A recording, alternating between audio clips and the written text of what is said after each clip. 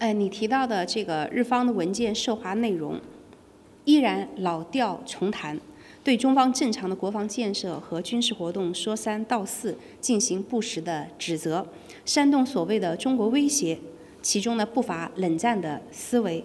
日方的这种做法不利于中日关系的改善和发展，也不利于地区的和平稳定大局。中方对此表示强烈的不满和反对，已经向日方提出了严正的交涉。